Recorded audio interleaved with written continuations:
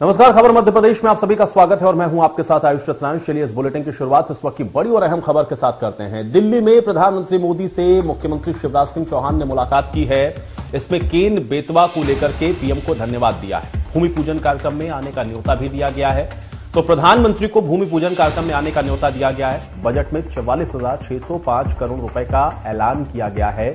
और इसी को लेकर के मुलाकात मुख्यमंत्री के द्वारा आज प्रधानमंत्री से हुई। है तो 16 फरवरी को रविदास की जयंती पर एक कार्यक्रम का आयोजन मध्य प्रदेश में होना है। कार्यक्रम की तैयारियों के लिए समीक्षा बैठक भी हुई है और ये मुख्यमंत्री निवास पर ही बैठक हुई, जिसमें उन्होंने अनुसूचित जाति कल्याण विभाग के मंत्री और उच्च अधिकारियों को आवश्यक दिशा निर्देश भी दिए हैं और इस कार्यक्रम में आने के लिए प्रधानमंत्री को भी इनवाइट किया गया है, उनको न्योता दिया गया है। तो दिल्ली से ये बड़ी खबर है। आज प्रधानमंत्री के साथ मुख्यमंत्री शिवराज सिंह चौहान के द्वारा मुलाकात की गई है। दरअसल केन बेतवा परियोजना को लेकर के चौवालीस हज़ार छह सौ पाँच करोड़ का जो प्रावधान इस बार केंद्रीय बजट में किया गया, उसका धन्यवाद भी मुख्यमंत्री के द्वारा प्रधानमंत्री को दिया गया।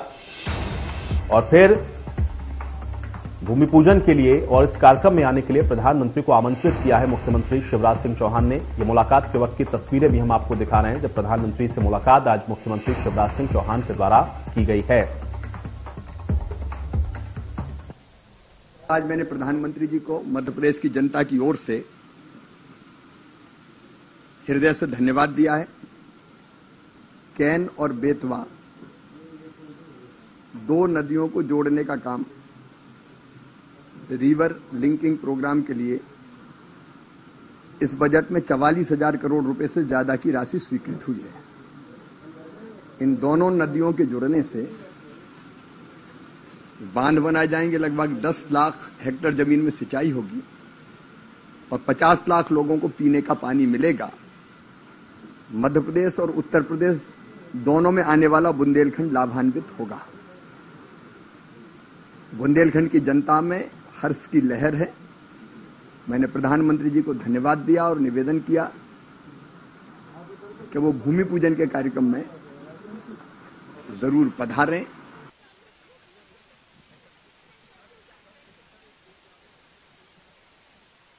परियोजना को लेकर के जो ऐलान किया गया।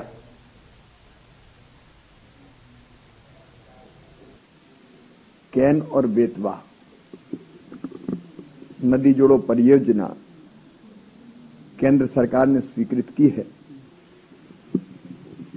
और इन दोनों नदियों को जोड़ के जो बाँध बनेंगे, उससे लगभग 10 लाख हेक्टेयर ज़मीन में सिंचाई होगी 50 लाख लोगों को पीने का पानी मिलेगा और ये परियोजना मध्य प्रदेश और उत्तर प्रदेश के बुंदेलखंड की तस्वीर भी बदलेगी, वहाँ की जनता की तकदीर भी बदलेगी।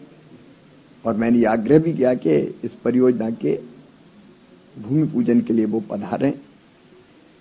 हमने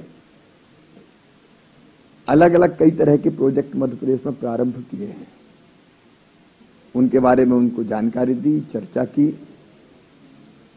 मध्य प्रदेश में कृषि उत्पादों के मध्य प्रदेश से निर्यात के बारे में चर्चा हुई। जैसी प्राकृतिक खेती गंगा जी के किनारे करने की योजना बनी है, वैसे नर्मदा जी के भी दोनों तटों पर प्राकृतिक खेती पाँच पाँच किलोमीटर दोनों तरफ़ करने का फैसला मध्य प्रदेश सरकार ने लिया है। किसानों को इसके लिए हम लोग प्रेरित करेंगे ताकि केमिकल फर्टिलाइज़र के उपयोग से धरती का जो स्वास्थ्य खराब हो रहा है लोगों की ज़िंदगी को भी खतरा है, उससे बचा सकें। अलग अलग मध्य प्रदेश के शहरों और गाँव का जन्मदिन मनाने का हमने फैसला किया। उसी शहर के लोग, उसी गाँव के लोग। कई जगह वो तारीखें तय हो रही है अपने अपने शहर की।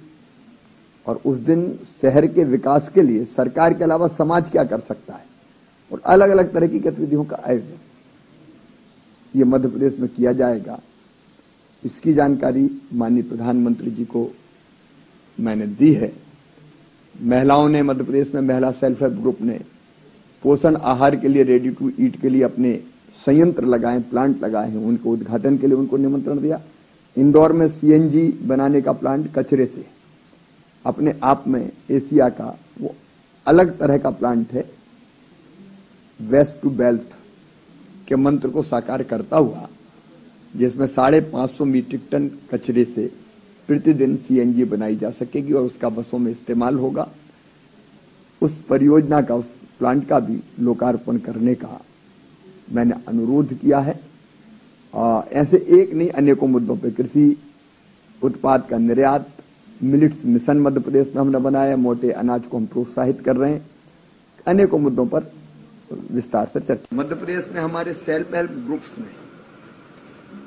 पोषण आहार जो आंगनवाड़ियों में रेडी टू ईट के रूप में दिया जाता है, वो पहले कॉन्ट्रैक्टर्स बनाते थे, ठेकेदार। अब महिला स्वास्थ्य सहायता समूहों के संघ बनाएँगे। ऐसे सात प्लांट उनने प्रारंभ करने हैं उनको तो उसका भी प्रधानमंत्री जी लोकार्पण करें आग्रह किया। मध्य प्रदेश में हम अलग अलग शहरों में प्रेरणा दे रहे हैं और गाँव में कि वो गाँव का एक दिन हो।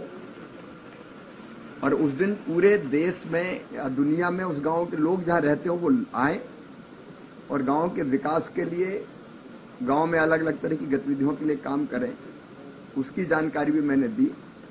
फिर प्राकृतिक खेती के लिए जो अभियान चल रहा है, गंगा किनारे, इस बजट में प्रावधान किया गया है प्राकृतिक खेती के लिए। मध्य प्रदेश में हमने तय किया नर्मदा किनारे पाँच किलोमीटर दाएँ तट पर, पाँच किलोमीटर बाएँ तट पर मध्य प्रदेश सरकार खुद पहल कर रही है प्राकृतिक खेती की, ताकि केमिकल फर्टिलाइज़र से मुक्त करके हम लोगों के और धरती के स्वास्थ्य की भी रक्षा कर सकें। कृषि उत्पाद के निर्यात पर भी मैंने विस्तार से चर्चा भी की है, जानकारी भी ली है। ऐसे अनेकों प्रोजेक्ट्स थे जिनके बारे में माननीय प्रधानमंत्री से चर्चा आज मैंने प्रधानमंत्री जी को मध्य प्रदेश की जनता की ओर से हृदय से धन्यवाद दिया है। कैन और बेतवा। दो नदियों को जोड़ने का काम। रिवर लिंकिंग प्रोग्राम के लिए इस बजट में चवालीस हज़ार करोड़ रुपए से ज़्यादा की राशि स्वीकृत हुई है। इन दोनों नदियों के जुड़ने से बाँध बनाए जाएँगे लगभग 10 लाख हेक्टेयर ज़मीन में सिंचाई होगी और 50 लाख लोगों को पीने का पानी मिलेगा। मध्य प्रदेश और उत्तर प्रदेश दोनों में आने वाला बुंदेलखंड लाभान्वित होगा। बुंदेलखंड की जनता में हर्ष की लहर है। मैंने प्रधानमंत्री जी को धन्यवाद दिया और निवेदन किया कि वो भूमि पूजन के कार्यक्रम में ज़रूर पधारें।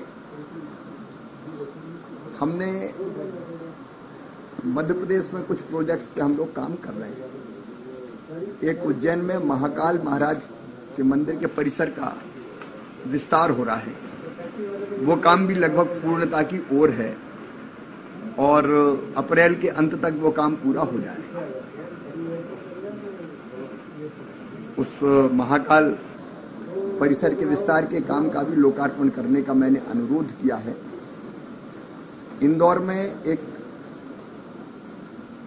वेस्ट टू बेल्ट पीएम की प्रेरणा से ही उस मंत्र पर अमल करते हुए हमने गीले कचरे से सीएनजी बनाने का प्लांट लगाया है। और उसमें लगभग साढ़े सत्रह हज़ार के जी सी बनेगी और 550 मीट्रिक टन कचरे का निपटान होगा। तो उसके लोकार्पण का भी निवेदन माननीय प्रधानमंत्री जी से किया है। मध्य प्रदेश में हमारे सेल्फ हेल्प ग्रुप्स ने पोषण आहार जो आंगनवाड़ियों में रेडी टू ईट के रूप में दिया जाता है, वो पहले कॉन्ट्रैक्टर्स बनाते थे, ठेकेदार। अब महिला स्वास्थ्य सहायता समूहों के संघ बनाएँगे। ऐसे सात प्लांट उनने प्रारंभ करने हैं उनको तो उसका भी प्रधानमंत्री जी लोकार्पण करें, ये आग्रह किया। मध्य प्रदेश में हम अलग अलग शहरों में प्रेरणा दे रहे हैं और गाँव में कि वो गाँव का एक दिन हो। और उस दिन पूरे देश में या दुनिया में उस गाँव के लोग जहाँ रहते हो वो आए और गाँव के विकास के लिए गाँव में अलग अलग तरह की गतिविधियों के लिए काम करें। उसकी जानकारी भी मैंने दी।